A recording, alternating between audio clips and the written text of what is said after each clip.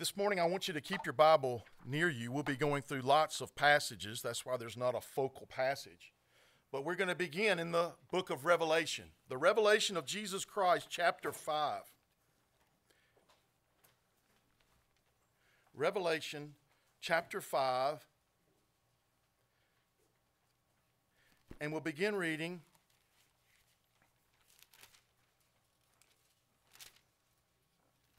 in verse 6.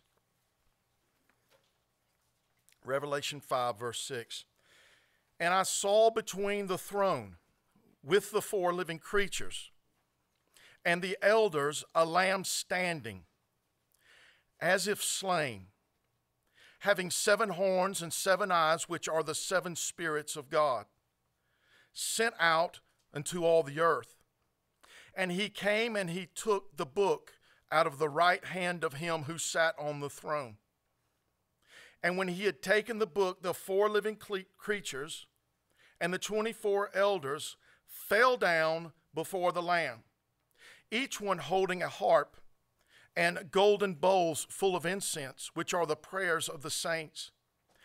And they sang a new song, saying, Worthy are you to take the book and to break its seals, for you were slain and purchased for God with your blood men from every tribe and tongue and people and nation. This is a picture of eternal worship in heaven. And central to this worship is a lamb. It's a lamb as if slain. The created heavens and earth will pass away. But these scars on the King of glory will never pass away. They are the only thing in eternity that are man made. It is a lamb as if slain. And they are a testimony to the love of God. And they are a testimony to Jesus Christ as our Redeemer. You have purchased for God with your blood. You have redeemed for God with your blood men from every tribe and tongue and people and nation. The church gathered. That's what this is a picture of. The church gathered with millions upon millions. They fall down and they worship the Lamb. And they sing a new song. Worthy are you to take the book and break its seals. Why is the Lamb worthy? Because it is slain. And you redeemed for God with your blood men from every tribe, tongue, people, and nation. Jesus Christ and Him alone has the right to receive worship. He is worthy because He has redeemed. That's the picture. What is the reason we worship this morning? We know, we say we understand, and we, we express from our hearts that Jesus Christ is worthy because he has redeemed us with his blood. That's what we're going to speak about this morning. Jesus Christ as our Redeemer. Of all the words and of all the pictures of the work of Jesus Christ on our behalf, the most precious is Redeemer.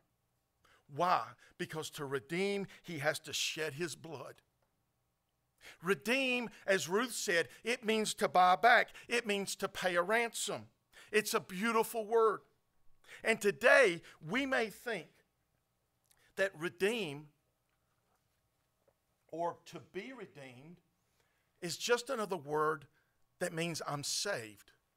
But it's, it's much richer, it's much deeper than that.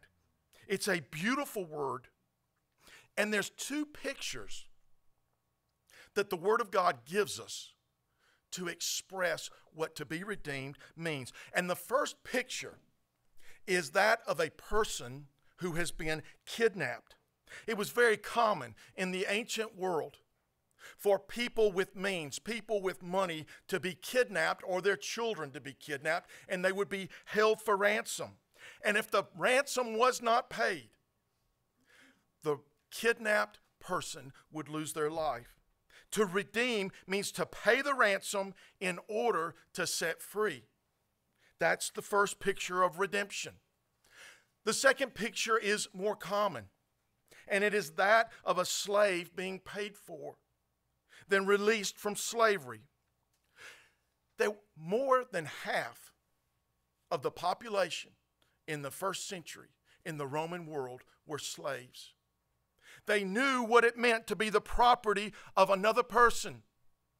Your life belonged to that person, and you had no ability to go out and work at another time in order to make money to buy back yourself.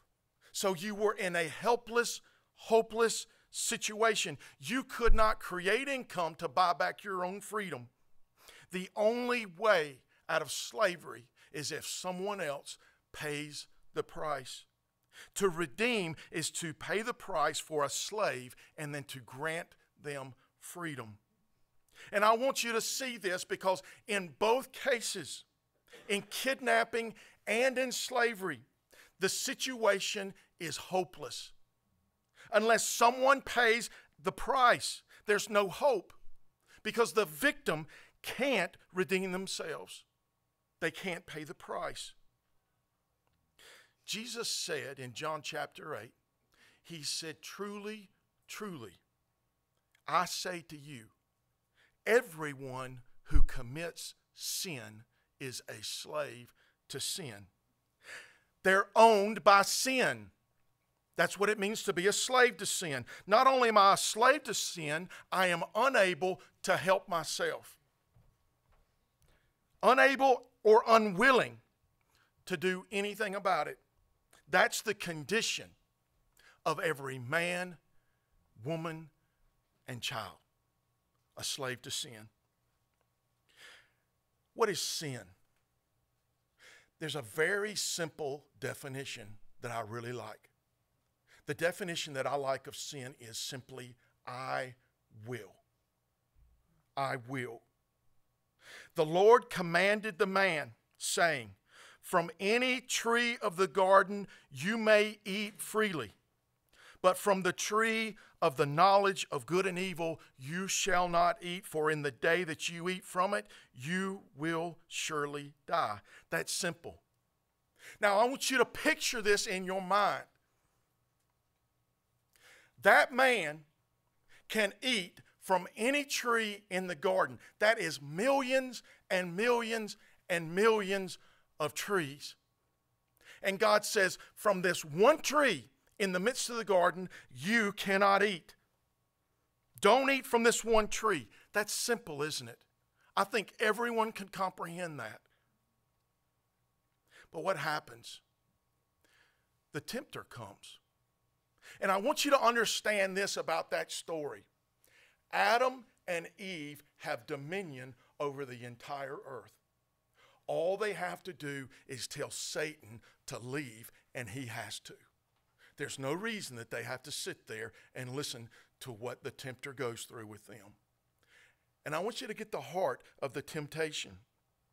This is the temptation God knows something. He knows that when you eat from the tree that's in the middle of that garden, you're going to be just like Him. God's not good. He's keeping something from you. Because life, true life, satisfying life, is found just on the outside of the will of God. And His will is that you don't eat from that tree. So, what does Adam and Eve say? They say, I will. I will do what I want to do and I will satisfy myself. That is sin in its simplest terms. Adam and Eve are now slaves to sin. And this is so beautiful. What is God's response? He calls out to the man, Where are you? Where are you, Adam? And Adam says, I was afraid. So I hid myself. For the first time, Adam experiences guilt and he experiences misery caused by sin. As his conscience becomes alive, becomes wakened, he feels guilty. When we exercise our will against the will of God, the result is guilt. That's the result. And listen, we've all felt it. We all know what guilt feels like. Every one of us has, has experienced that. But there's another side of sin. The other side is misery. You can call it consequence if you want. And here's the misery the peace that Adam once knew, that he once enjoyed in having a relationship with God, is gone. That peace is gone. He knows he's wrong and Adam hides himself from the God who made him and from the God who loves him. Now he's afraid of the person who previously was his entire life. That's the misery of sin. Well, what else happened? The unity of the husband and wife are gone. That relationship is also destroyed. How do I know? Because this is what Adam says That woman who you gave me, she made me eat he's throwing his wife under the bus to see what God's going to do to her. So he blames her for the whole thing. He's more concerned about preserving himself than he is in preserving his wife and taking responsibility. The relationship is broken. And listen, if you want to know how sin perpetuates itself in one generation, it's going to go from eating fruit to murder. That's an amazing thing to me. Anger. One brother kills another. Think about the heartbreak in that family. That family is torn apart. And every one of us have experienced the misery of sin. The consequences of sin. It goes from one generation to the next. In Matthew chapter 9, Jesus was going through all the cities and villages, teaching in their synagogues and proclaiming the gospel of the kingdom and healing every kind of disease and every kind of sickness. That's what Matthew said. What does he see? And what does he feel? Listen to the next verse. Seeing the people, he felt compassion for them because they were distressed and dispirited like sheep without a shepherd. He sees the people and the crowds that were following him, and he has compassion for them because the NLT puts it this way they were confused and they were helpless. Confused because of the hurt and the misery that sin in the life brings, and helpless to do anything about it. People are like sheep without a shepherd. That's the bondage of sin. We can't do anything about it. And if you want to understand redemption, we have to have an understanding of the depth of our sin. Sin's not just a problem out there, it's not just out in the world. Sin is my problem. Sin is your problem. We are saturated in sin. The prophet Isaiah said, Your sins are like scarlet. Well, what was scarlet? Scarlet was fabric, a very expensive fabric, and it was red. And they would take that fabric, and the reason it was so expensive is they would plunge it into the dye vats over and over and over again, then let it dry. Then they would do the same thing. They'd plunge that fabric over and over and over into that vat till the red dye could never be removed. And Isaiah says, Your sin is just like that color in that fabric, it can't be removed. You're saturated in it, and I'm saturated in it, and we're helpless to remove it. The Apostle Paul in Ephesians chapter 2, in the first three verses. Turn there if you want to. Ephesians 1, excuse me, Ephesians 2, verses 1 through 3.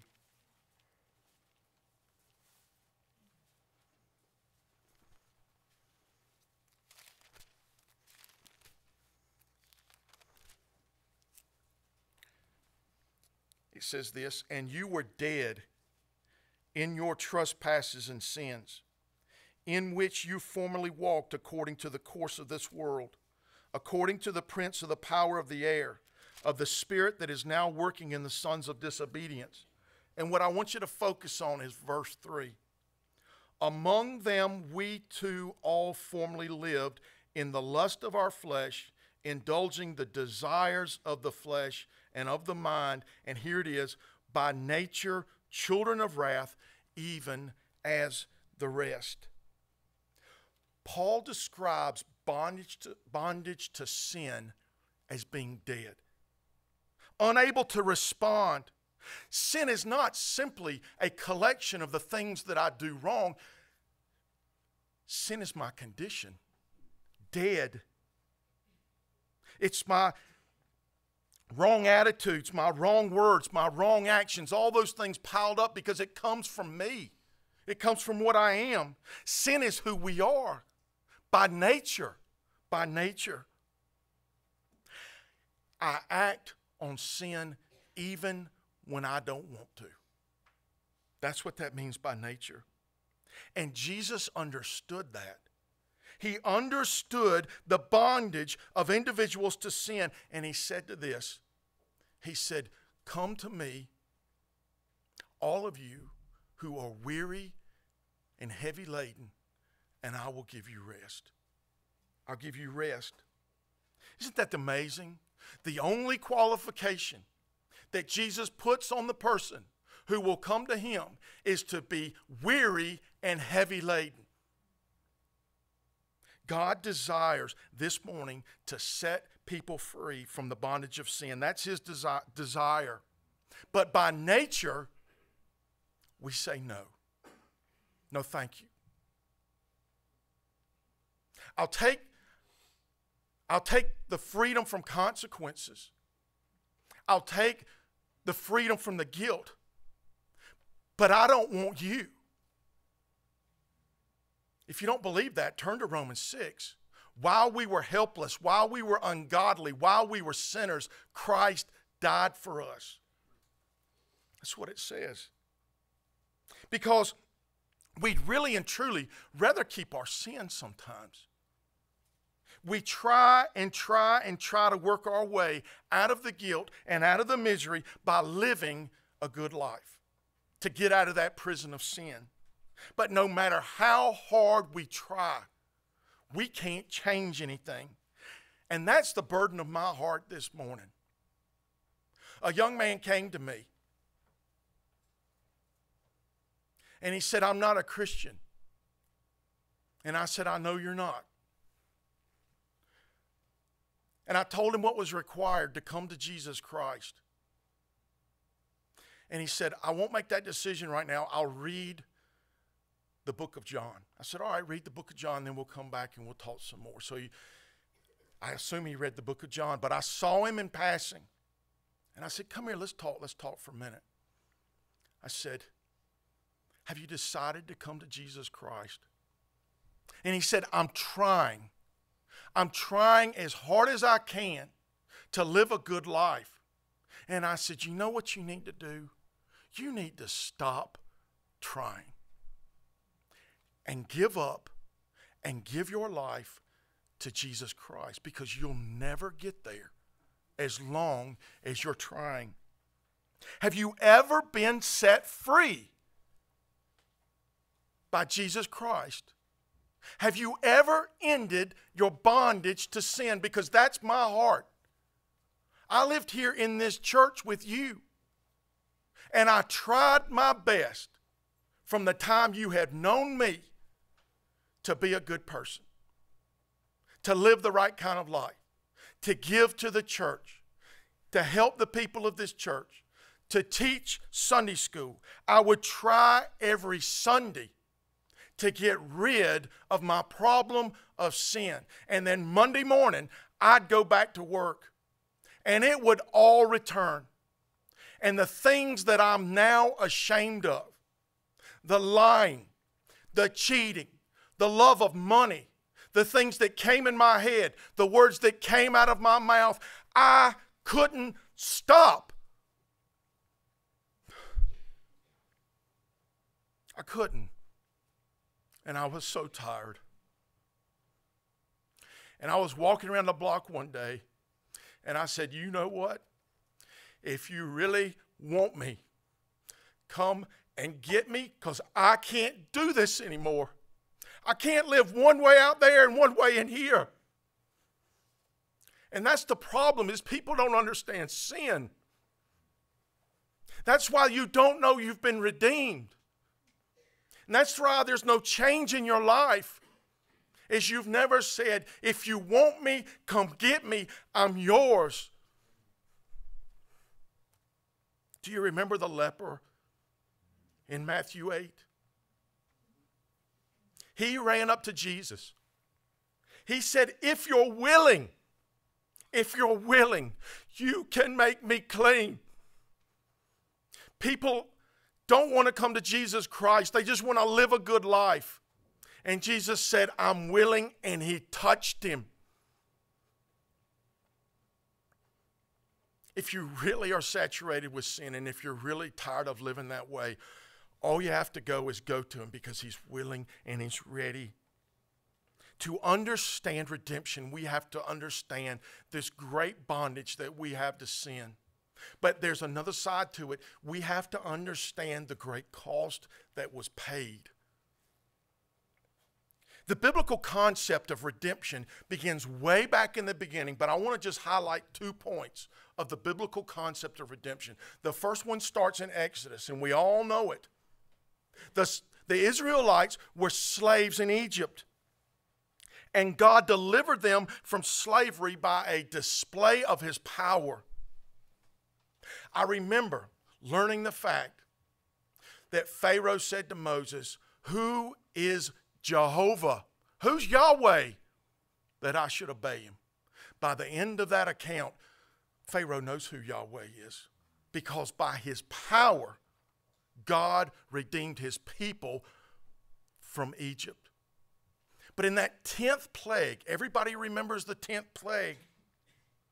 God would use that last plague to demonstrate that even though Israel was delivered by its power, his power, there was a great cost of redemption, and that was the Passover. That was the Passover. Moses instructed at the Passover, a family would gather in their home.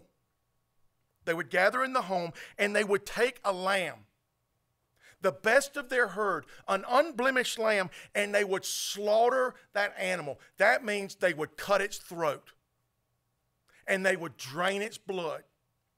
And then they would take that blood, we all know, and they would put it around the post and the lintel of the door. And God said this When I see the blood, I'll pass over. I'll pass over your sin. I'll pass over. That was the cost of deliverance an unblemished lamb. It was the substitute, and its blood was the proof of the life of that animal. Well, we all know the story. The Israelites, they go into the wilderness, and God gives us another picture. He told Moses, Build a tabernacle. And he gave through Moses a book called Leviticus that none of us can stand But this afternoon, read, read the first seven chapters because that book is the instruction book to the priest how to operate the tabernacle. And it's very interesting. A sacrifice would take place like this a family would gather a lamb, and they would take that to the, the door of the tent of meeting, and they would present that lamb to the priest. And the priest had this job to see that the lamb was unblemished and spotless and without default. And then that man would take his hand and he would put it on the head of that animal. for his family, for himself. And then he'd take a knife and he'd cut its throat. And that lamb would bleed its life out. And then the priest would take that blood and the carcass of that animal and he would present it to God on the altar. That is God's picture of redemption. Now, I want you to think about that for just a minute because there's about a million and a half Israelites wandering around in that desert. And every one of them are presenting sacrifices. We lose the understanding of the great cost of sin. Can you imagine the stench of death in that place as millions and millions of animals are slaughtered for sin? What in a picture. But here's the sad part those animals and their sacrifices, yes, God accepted it, but it never got them inside the Holy of Holies. They could never approach God. Never approach God.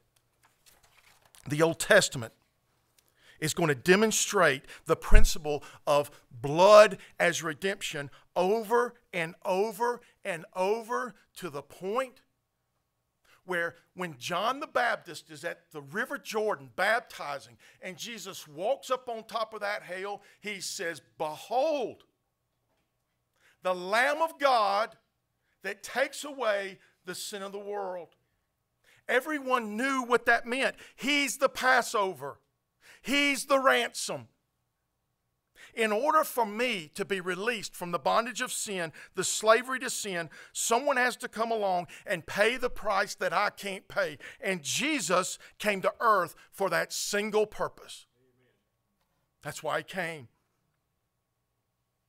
To go to a cross and pay the price that we couldn't pay. He would serve by giving his life a ransom to, for many. Do we understand the cost? And here's something I thought about this week all those little sins, the little private ones that I committed, that you committed, the ones we thought would never hurt anybody, nobody's ever going to know. Those sins were put on public display as the perfect righteous Son of God was hung naked on a cross for everyone to see. Our sins that we think we do in private, they don't. They were displayed. Ephesians 1 6 says, In him, in Christ, we have redemption through his blood, the forgiveness of our trespasses, according to his riches. It doesn't say by his riches.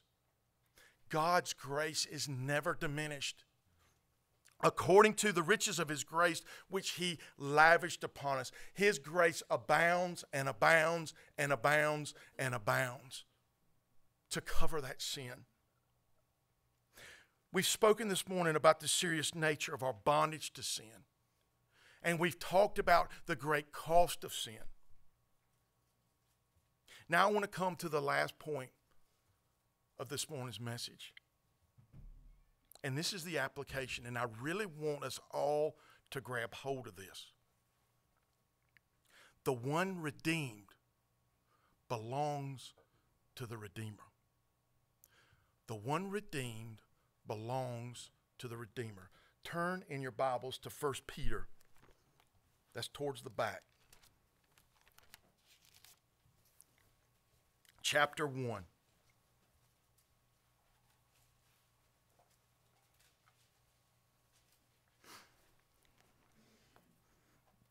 Verse 13.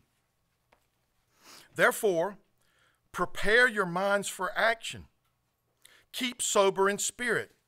Fix your hope completely on the grace to be brought to you at the revelation of Jesus Christ. As obedient children, do not be conformed to the former lust in which you which were yours in your ignorance but like the Holy One who called you. Be holy yourselves also in all your behavior, because it is written, You shall be holy, for I am holy.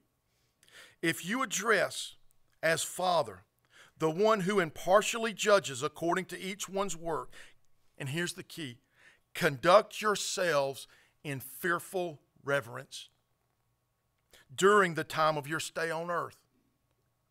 Knowing. That's what this is about. It's about knowing the extent of your sin and the price that was paid. Knowing that you were not redeemed with perishable things like silver or gold from your futile way of life, inherited from your forefathers, but with precious blood as of a lamb, unblemished and spotless, the blood of Christ. Do you understand this morning? Do you know that you belong to your Redeemer? If, you, if you've been redeemed, you belong to Him. Let's go to another passage. Go to 1 Corinthians. We'll go through these quickly. 1 Corinthians chapter 6, verse 19. That's where we want to begin. 1 Corinthians chapter 6, verse 19 in the church, there was this problem of sexual immorality. And Paul points out a very simple principle about godly use of the body. And they knew the answer. The Corinthians knew the answer. They know right from wrong. And Paul is simply reminding them what he has taught them. Look at verse 19. It says, Do you not know? Of course they knew. Paul had taught them.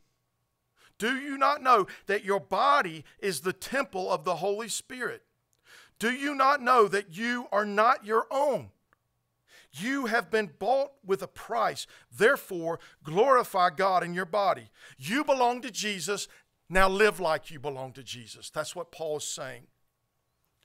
The last one I'm going to cover, you don't have to turn there, is 2 Corinthians 5 14 and 15. Listen to what it says. For the love of Christ controls us having concluded this, that one died for all, therefore all died. And he died for all. Why? That so that they who live might no longer live for themselves, but for him who died and rose on their behalf. Jesus redeemed us. Why? So that we might not live for ourselves any longer, but for him. Are you living this morning for Jesus? Are you redeemed?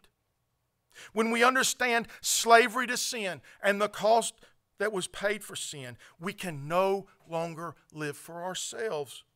That's the principle of redemption. And you can tell when this truth finally takes root in somebody's heart.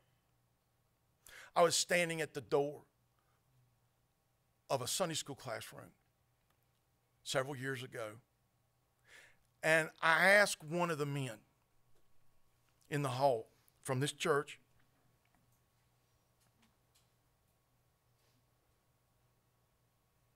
his possibility of serving the Lord in a position, in a capacity in the church. And he said this to me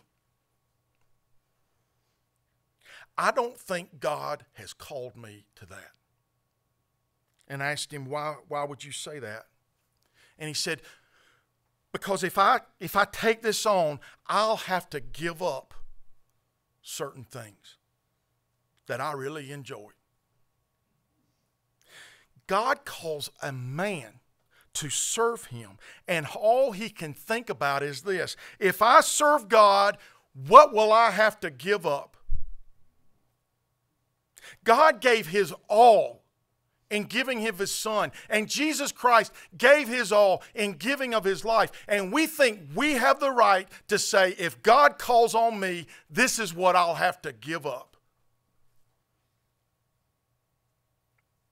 Man sits in his depraved nature with a dead spirit and asks, What will I have to give up to serve God? The real question is, what do you have to give up that God wants or needs? That's the real question. What happens if God doesn't accept us? Where will you go? To whom will you turn? If you've been redeemed, you understand that you belong to God. Your whole life is His. You live for your Redeemer. You walk with a Redeemer. You love your Redeemer. That's when it takes hold in the heart. And there's only one response for the heart that understands that. Paul tells us in Romans 12, therefore, I urge you, brethren, by the mercies of God. What are the mercies of God? That's the price he paid. That's his life. That is his death. That is his resurrection. In view of all of that, Paul says, present your bodies a living and holy sacrifice, acceptable to God, which is your reasonable act of worship. Presenting your bodies. He was sacrificed, and I'm his sacrifice.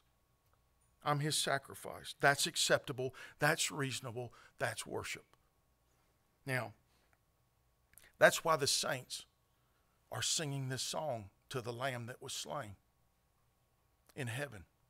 That's why they're singing this new song. Worthy are you, for you were slain and purchased us for God by your blood. Do we truly understand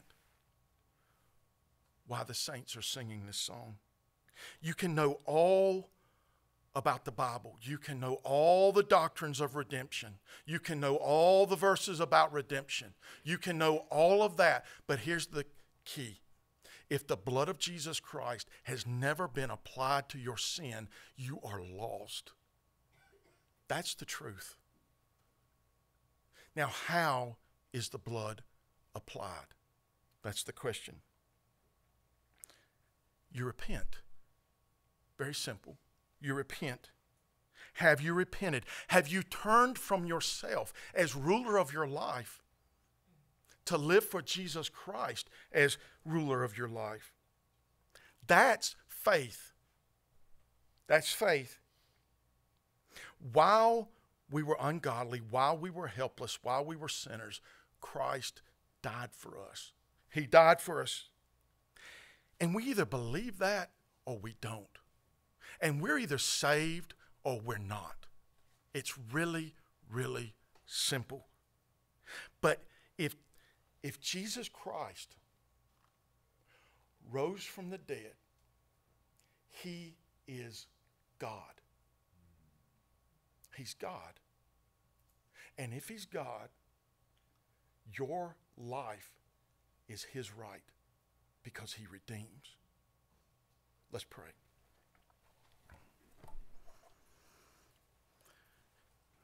Father, we thank you for your word. And I pray, Lord, very simply, that your word would take its root in our heart. And Father, help us forget about the past. And Father, by your Spirit, examine our lives right now. And Father, if we have never truly